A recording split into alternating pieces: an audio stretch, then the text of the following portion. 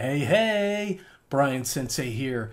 In this video, we're going to talk about startup apps and how to manage them. Have you ever noticed that certain applications start up automatically when you first log into your computer? Well, guess what? You can turn those on and off. Let's dig in. Okay, so here I am on my desktop, and one thing I want to call out about startup apps is you can take a look and see what starts up down in your right hand corner taskbar or your system tray.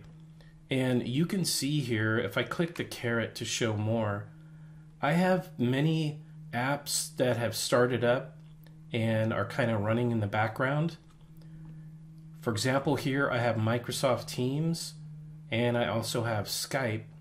And these are opening by default when I start up my computer. So what happens is the more apps that you have starting up on your computer, the slower it can be when starting up, which means you have to wait longer before you can actually start using your computer.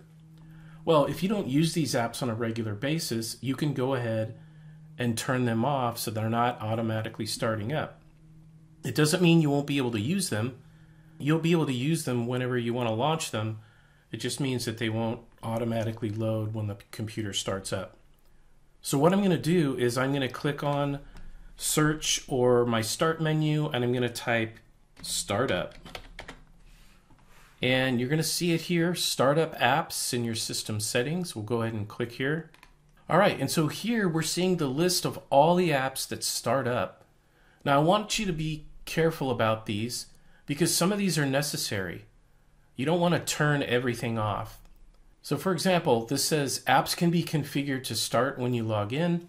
In most cases, apps will start minimized or may only start a background task. So some of these are background tasks that you want to have running, but others you can turn off. So for example, if I want to go down here and go ahead and turn off the Microsoft Teams app, maybe I'm not using this on a daily basis, I can go ahead and turn those off. And maybe Skype is another program that I'm not using on a daily basis. I'll go ahead and turn that one off as well. And so that's all you have to do. Once you're done with that, you just go ahead and close this window.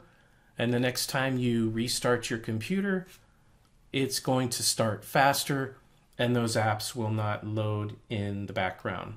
All right, hope this was helpful. If you liked this video, please let me know in the comments below and share it with someone who you think might like it as well. And with that, I'll see you on the next one.